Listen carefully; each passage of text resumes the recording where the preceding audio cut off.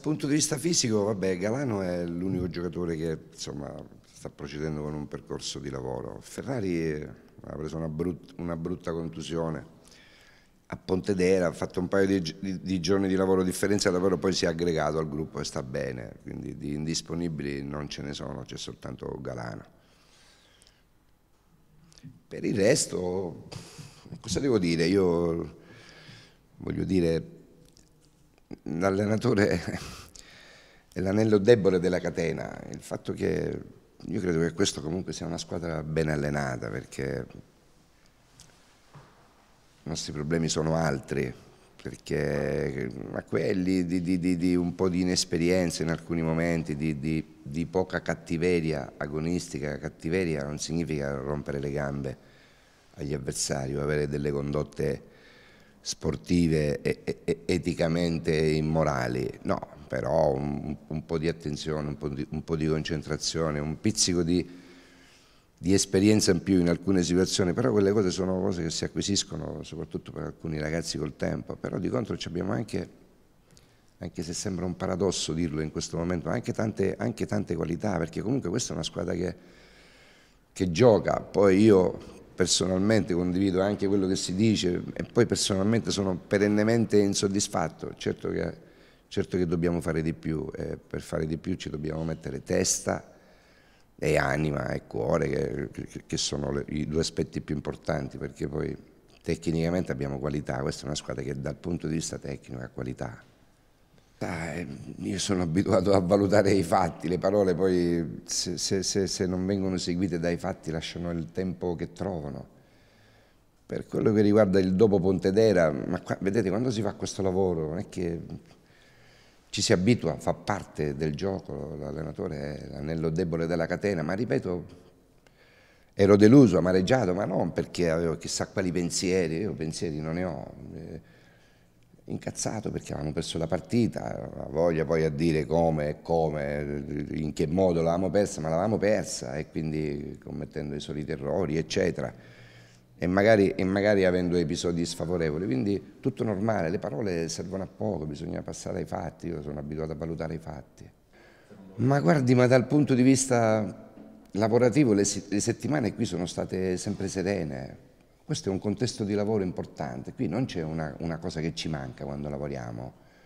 Devo dire che il lavoro sul campo durante gli allenamenti quotidiani è sempre fatto bene, quindi c'è grande partecipazione perché poi è anche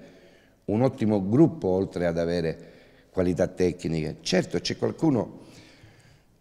che ha bisogno di essere un po' più formato dal punto di vista professionale, però l'impegno non manca mai, il contesto di lavoro è ottimale perché obiettivamente il modello organizzativo su, su cui ci alleniamo è, è, è, è, oltre la categoria, vabbè, Pescara non è una,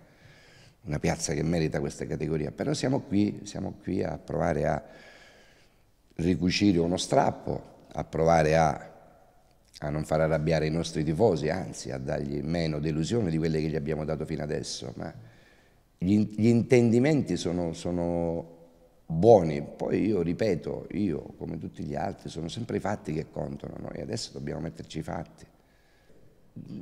Abbiamo anche dimostrato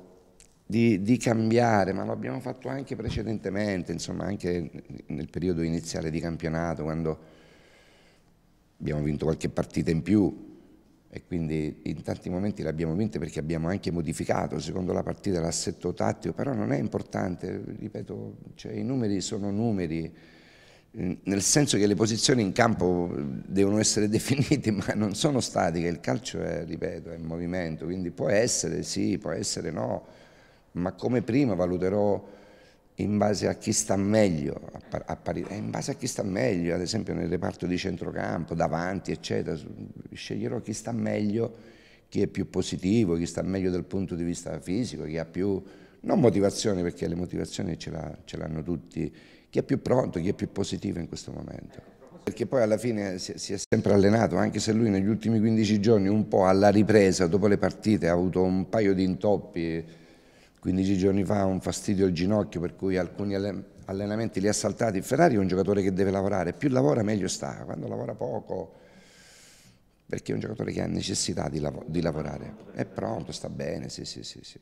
Ma le ultime partite, quella col Teramo è stata una partita sotto tanti punti di vista importante, quella a Cesena è stata una partita per alcuni punti di vista importante, poi, poi ci siamo abbassati di 20 metri in campo. La parte iniziale della stagione, questa è una squadra che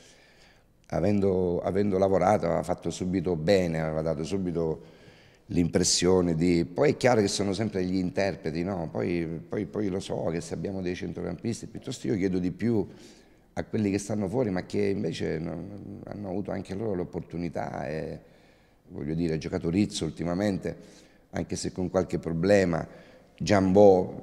non hanno dato tantissimo, è lì il, il, il problema, insomma, sono sempre gli interpreti, non sono, non sono però nella prima parte, nella, ma ce ne sono diverse, abbiamo fatto, ne abbiamo fatte diverse buone, ma, ma con, la, con, la, Reggiana è stata una partita molto buona, cioè, ma di che parliamo? Cioè, abbiamo, abbiamo, subito, non, non, abbiamo subito tre gol irregolari,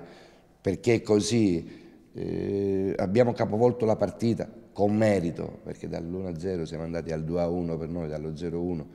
abbiamo capovolto con merito perché, perché, evidentemente avevamo idee, equilibrio e tutto, poi dopo siamo incappati in due stupidaggini perché, perché abbiamo preso un calcio d'angolo, ecco, inesperienza, un calcio d'angolo battuto a sorpresa, che ci hanno giocato a due e ci hanno pareggiato la partita, assieme anche a qualche errore di, di, di, di valutazione da parte degli altri. Partite con l'Ancone, quella è la nostra faccia. Ma guardi che questo è un girone, l'ho già detto, questo è un girone tosto che ha sorpreso anche me, fra virgolette, ma mi sono reso conto subito. Non ci sono squadre deboli, non ci sono squadre... Le outsider, fra virgolette, hanno tutte qualità, sono, sono tutte squadre organizzate, anche perché devo dire il livello